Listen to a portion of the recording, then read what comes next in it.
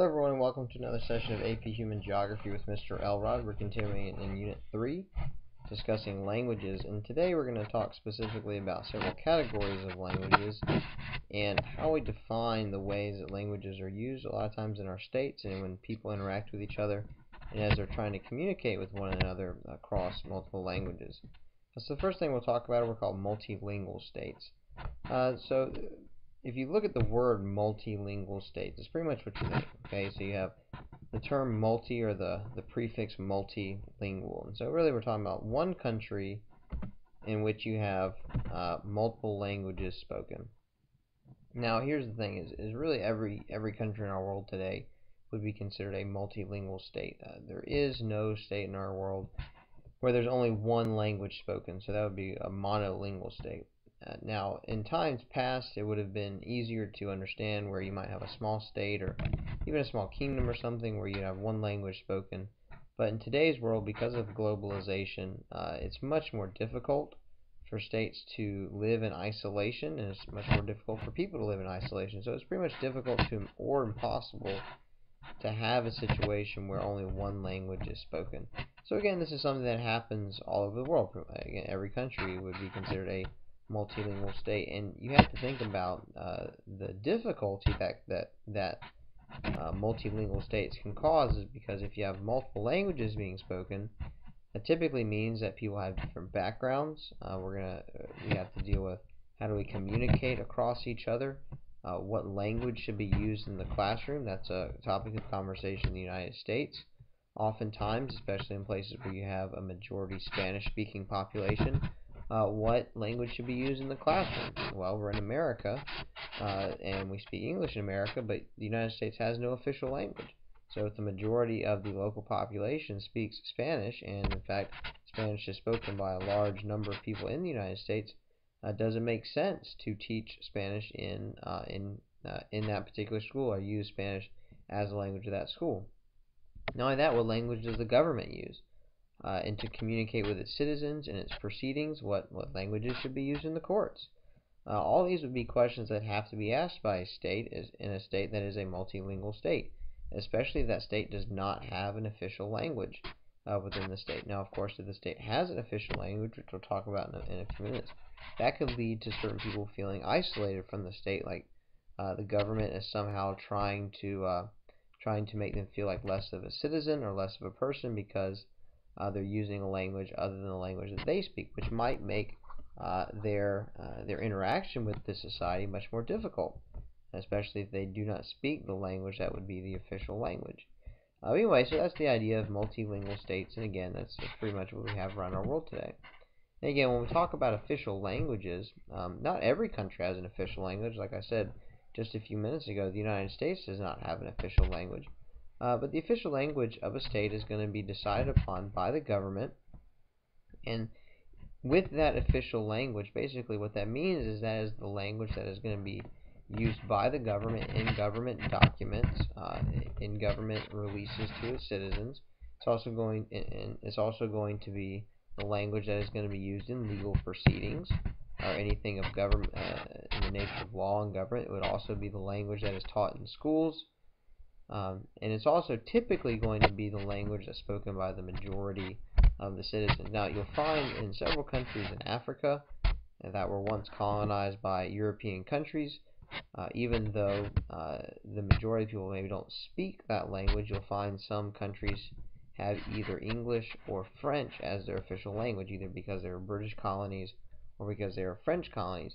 And in several African countries, that's the reason because you have so many different tribal groups that uh, the European language, though some might see it as, as an oppressive language, um, is used because because the fact you have so many different groups of people, so many different tribes and languages being spoken, that to use a language that is not attached to any of the tribes, actually hope, the idea there is they hope to kind of overcome some of the uh, ethnic or tribal strife that they've had in the past and look like they're not trying to favor one tribe over the other. And so, like I was talking a few minutes ago, you can think about how an official language might create some tension uh, within a state, especially if you have an ethnic minority that speaks a language different uh, than the official language. And again, if we tried to, we've tried to do this for several years in the United States to make English the official language, um, and, and certainly uh, people who are of a Spanish, Hispanic descent and Spanish-speaking individuals might feel like they're somehow uh, left out of society if English becomes the official language. So uh, that could definitely cause some, some strife within the country itself. And now, when we have a language, uh, and a language that is taught, you have what's called the standard form of the language. Basically, the standard form of the language is, the, uh, standard form of the language is the correct form of the language as it should be spoken and as it should be written uh, by the people of that country. Uh, so typically you find this as the form of the language as taught in the schools. Of course, uh, we see the way that language, you think about your own English classroom, the way that uh, English is either spoken or or written and those types of things. So you think about the academic form of English, then again you have the, the slang English or the English that you use in your local vernacular. Um, and it's going to vary uh, across the entire country from the north to the south to the west to the Midwest.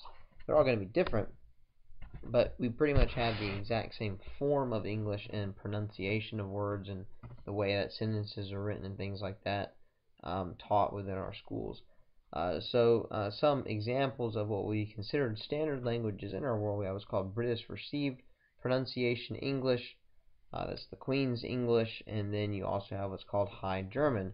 In Germany, you have uh, you have German that is called High German and Low German. Low German is spoken in the lower portion of the country. High German is spoken in the northern portion of the country, and High German is seen as uh, the standard form of the language. And just like in English, it's uh, they have various dialects and things like that, and uh, different uh, different terms are used. But again, you still have the standard form of the language. Now, when it comes to the, the world that we live in and communication, this idea of lingua franca is really important. So basically what a lingua franca is, is it's a, it is one language that is worldwide in scope. And when I say worldwide, uh, worldwide can uh, worldwide can mean uh, a very varying various things across various time periods.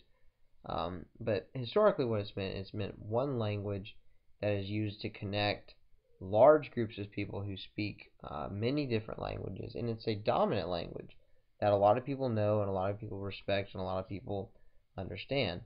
Uh, and so, uh, the purpose of the lingua franca really is to try and improve communication across different groups of people who might speak a different language. So the idea is, is if you have 10 different people who all speak 10 different languages, instead of having to learn my language plus 9 other languages, if we all understand our own language plus one additional language, we would be able to communicate. So really it just it, it creates a much more efficient form of communicating uh, across multiple languages so that more can be accomplished and greater dialogue can be created. Uh, so some examples, we have uh, Swahili in Eastern Africa is a historical lingua franca. It was important for uh, the East African trading states, especially as they traded across uh, to the Arabian Peninsula, which was an important trading hub for Asia and Europe. And so Swahili was used. It's also um, a pidgin language. Um, it was historically a pidgin language, but it was used in Eastern Africa as a trading language. Uh, of course, today English really is uh, the global lingua franca because it's the uh, it's the language of the international community, and, and I designate English as it is the uh, the lingua franca of education. It's also the lingua franca of economics. It's also the lingua franca of diplomacy. Um, I was reading an article a couple years ago and was talking about uh, information found on the internet. Uh, it was something to the effect of like 80 some odd percent of all information found on the internet was in English.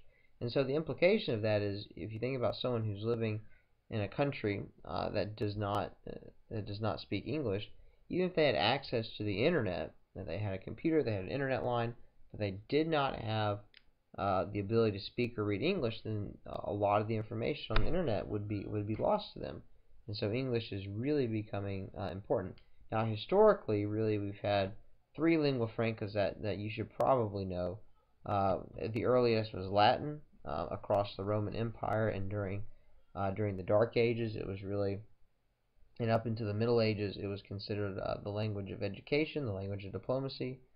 Uh, and then French became uh, the language of education and diplomacy, and also culture.